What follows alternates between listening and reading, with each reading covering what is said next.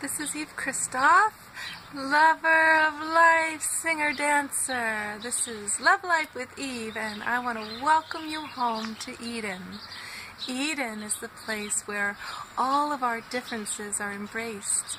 As men, as women, in opposite polarity, as many races, and we enjoy our differences, and we actually, instead of pretending that we're all the same, uh, we we acknowledge that we're not, and and we we have awe for the other.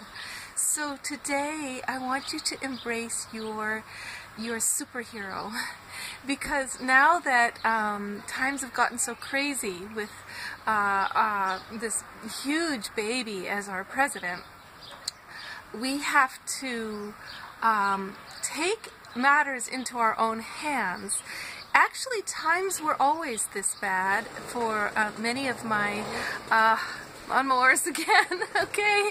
For many of my uh, Latin friends and African American, African African friends, this has always been, they've always known about the racism going on and the misogyny. Um, for women of color especially. Uh, so let's let's talk about this, okay?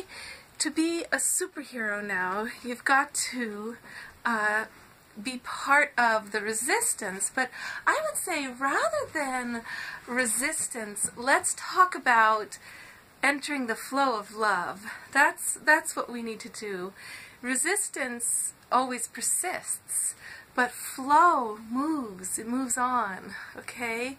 So you are going to stand up. You're going to stand up to any uh, disloyalty to love that happens around you, okay? So this month, this is the, the couple of things I did. I was with uh, an employer who said a super racist thing in my in in my proximity. He, a beautiful African man was walking down the street, and he goes, "Oh, looks like he's looking for the cotton field," and you know. I just turned to him and I said, you know, in my presence, that kind of comment is not allowed. It's it's not allowed. And I really gave it to him. I, I talked about, um, I asked him where, was he always this racist in, in his whole life? And, and he had his all of his excuses. And I said to him, if he ever did that again, I would never work for him. So I got fired. and I am happy to have been fired.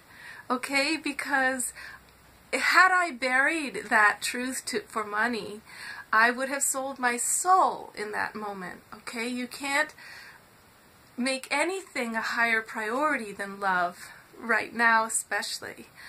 Um, but especially on the planet. Okay? So there wasn't too long ago that people gave their lives, they put their lives on the line with Martin Luther King um, with Gandhi in this whole non-violent movement which was showing love in resistance but more like flow like we flow with what we believe in. We we say yes to only this another thing that happened this week is I was at the river and two, uh, four boys were across the river from me, and I was busy in my feminine energy, fast, fascia blasting and lotions and everything, and I was aware, aware that people were watching me, so I was like, oh my god, I'm gonna do this anyway.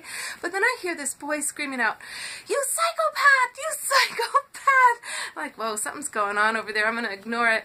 And then I started thinking, well, wow, what's going on over there? I better not ignore it. So I look over, and sure enough, one of the boys is actually trying to kill the other boy. He's trying to push him off a high rock down a cascade of rocks where he would actually die. And I realized, okay, I'm going to be ugly right now. So I made my voice horrible. I made myself a bitch. I I screamed out, God damn you guys, you know, you stop that right now. I'm gonna call the cops. Mama, They're like, stay out of it, lady. I'm like, I don't care what these boys think. I'm gonna make myself as ugly as possible. And I start shouting that, that way that moms do, like, this is a sacred location. How dare you destroy it? And you could kill somebody that way. And I go on and on until the boys are freaked. They're done with being embarrassed by a woman who was went from beautiful to ugly in two seconds flat, you know, and they all disband and the boy's life is saved, basically. So these are the kind of moments that we, how do you non-violently stand up to violence, sometimes you have to match violence with similar energy. So basically, there was no violence in my soul. There was no actual anger. I chose to put on the voice of ferocity to scare the boys. So I'm inviting you to be a hero. Never let anybody make a racist comment, a sexist comment, a LGBT destructive comment in your presence, stand up immediately. So last night another comment was made in my presence where somebody's like, Oh yeah, I just love all these groups where people are banding together.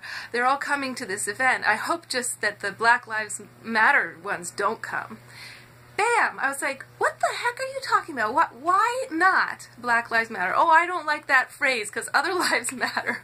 And I'm like, this is not a phrase.